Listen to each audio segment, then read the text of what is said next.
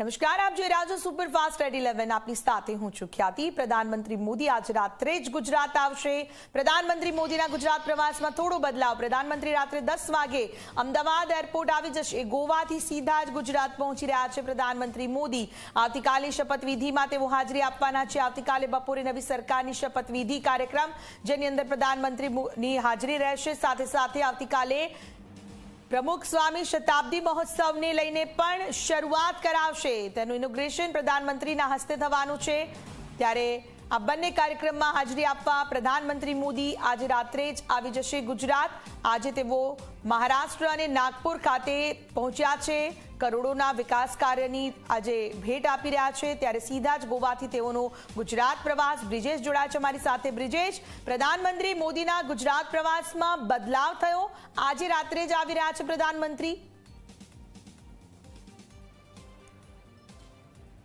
બિલકુલ ખ્યાતિ. જો પ્રધાનમંત્રીનો પહેલાં જે કાર્યક્રમ હતો તેની અંદર તેઓ સોમવારે બપોરે એક કલાકે જે છે, અમદાવાદ એરપોર્ટ પહોંચવાના હતા. પરંતુ આજે તેમનો મહારાષ્ટ્ર અને ગોવાનો પ્રવાસ છે. મહારાષ્ટ્રમાં, નાગપુરમાં મેટ્રોનું ઉદઘાટન અને વિવિધ વિકાસ કાર્યોની ભેટ આપ્યા બાદ તેઓ ગોવા પહોંચશે, જ્યાં નવા ટર્મિનલનું જે છે એ લોકાર્પણ કરવામાં આવશે. એટલે એરપોર્ટ ટર્મિનલને જે નવી ભેટ આપવા જઈ રહ્યા છે ગોવાને.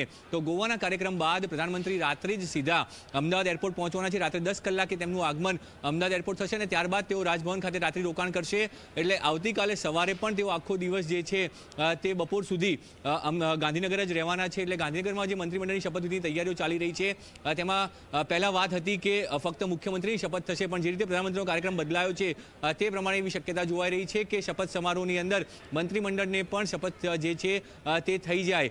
તે પ્રકારની શક્યતા જોવામાં આવી છે, કારણ કે પ્રધાનમંત્રી હવે જો ગુજરાતમાં જ રહેવાના હોય અને પૂરતો સમય હોય તો મંત્રીમંડળની શપથવિધિ પણ જે છે એ ગઈકા, આવતીકાલે જ થવી જોઈએ તે પ્રકારની વાત મળી રહી છે. હાલ તમામ કવાયત જે છે ચાલી રહી છે.